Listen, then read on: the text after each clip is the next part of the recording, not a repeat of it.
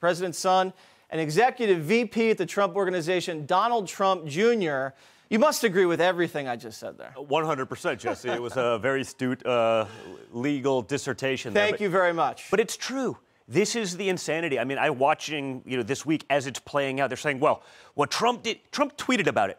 Meaning, to his millions of followers all over the world, he tweeted about something that already happened, meaning the verdict against Stone, right? They're trying to say that that is the same as when the right was outraged that Loretta Lynch met with Bill Clinton on a private plane on a tarmac in Arizona to talk about golf and grandkids.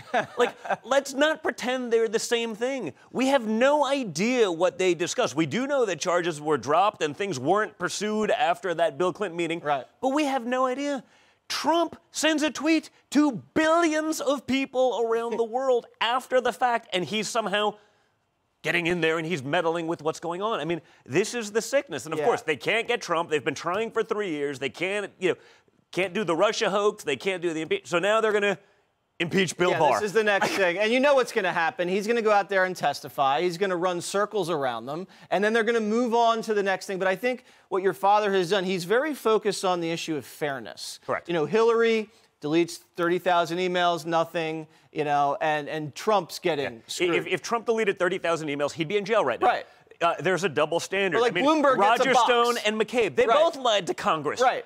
But McCabe, he's a CNN contributor. Right. He gets, he actually gets airtime on TV Right. to talk about the injustices that he actually committed. Right. About Roger, like, Right. the the double standard is what's sickening, and I think that's what my so frustrating to us. Like, I don't care if we play hardball or if we play t-ball, but we got to be playing the same right. game. I mean, it's and like we're you and. Hunter, people say. Yeah, they, they, they still do this thing. I mean, the left is sort of outraged because Joe Biden is all of the things they say Trump is, but isn't. Right, you know, right. corrupt, slow, not particularly bright, you know, corrupt family and kids. I mean, these are what they tried to do to me. What, again, you think that if I would have lied to Congress, you think that Oh. you, you think I'd be here right now, or would I be in jail? you would have been sharing a cell with Avenatti. And, and that's the reality. Unlike Hunter, I Yes. actually did 30 hours of testimony. Now, the difference is I took a 20 minute unsolicited meeting set up and paid for by the DNC.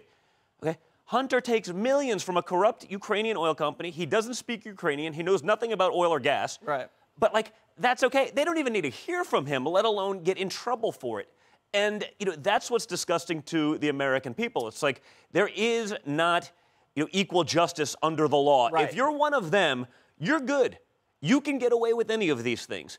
If you are one of the Trump people but flip on Trump, you're also good. right. Uh, if you're a Trump guy, it's over. Like Bolton. Now all of a sudden he's here. Now, we, we just That'll mentioned last about two more days. Joe Biden. I mean, the guy looks like a, a beaten down ghost. And he really limped out of New Hampshire. What, what do you think's next for Sleepy Joe? Retirement.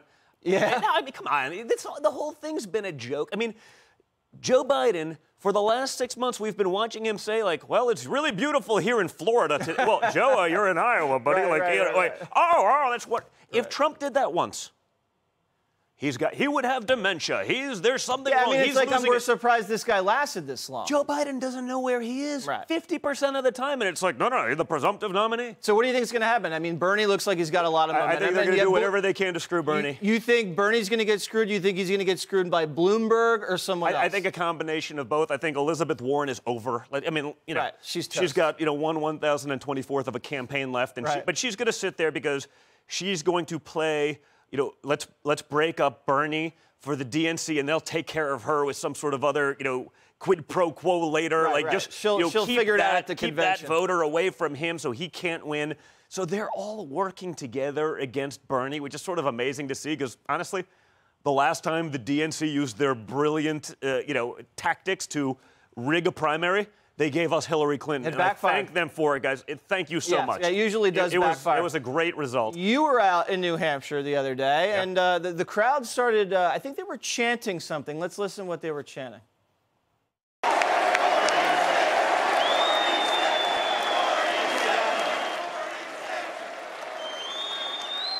Number 45, 46 is next. Now, was Ivanka jealous? Or were they chanting for Ivanka? Well, I got? I got it a little was bit after you? my speech too, so that was like the third time I heard that one. Honestly, listen, it, it's it's a great honor. It's incredibly yeah. humbling.